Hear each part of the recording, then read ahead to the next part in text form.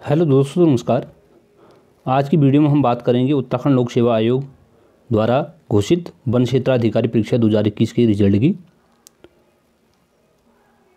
जैसा कि आप देख सकते हैं, नौ फरवरी दो हज़ार बाईस को ये रिज़ल्ट डिक्लेयर कर दिया गया। विज्ञप्ति है,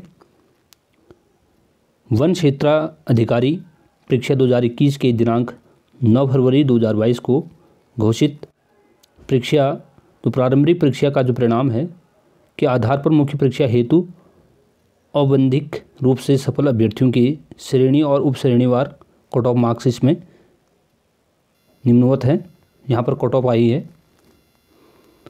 आप देख सकते हैं, जो जनरल कैटेगरी है अनारक्षित, उनकी कट ऑफ़ गई है eighty nine point two five और अनारक्षित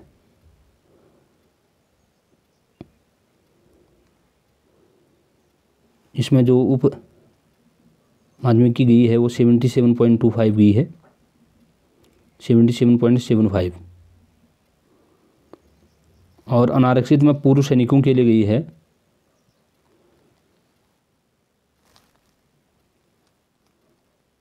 ये है छत्तीस दशमलव सात पाँच।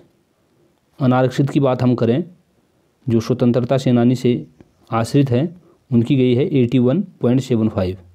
साथ में अनारक्षित की जो अनाथ बच्चे हैं, उनके लिए गई है इक्कीस दशमलव दो पाँच। अगर हम बात करें अनुसूचित जात की, अनुसूचित जात में गई है seventy nine point five zero. उनासी दशमलव पाँच शून्य। उसी प्रकार से हम अनुसूचित जात में महिला वर्ग के लिए बात करें तो ये गई है छियासठ दशमलव शून्य शून्य। अनुसूचित जनजाति की बात करें तो यहाँ पर तिहत्तर प्रतिशत, तिहत्तर दशमलव शून्य शून्य में गई है।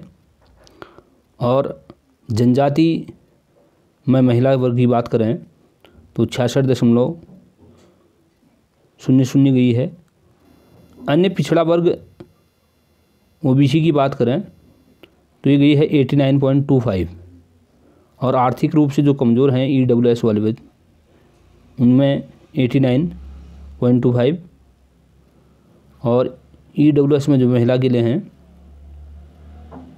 ये गई है seventy seven point seven five. तो ये कट ऑफ़ गई है और इसका रिज़ल्ट डिक्लेयर कर दिया गया है।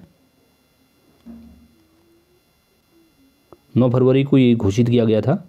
अब इसी के आधार पर मुख्य परीक्षा हेतु जब इनके डॉक्यूमेंट वेरीफाई हो जाएँगे। फिर से अलग से विज्ञप्ति निकलेगी और फिर से मुख्य परीक्षा में सम्मिलित विद्यार्थियों को फॉर्म भरना होगा। मिलते हैं नेक्स्ट वीडियो के साथ। Thank you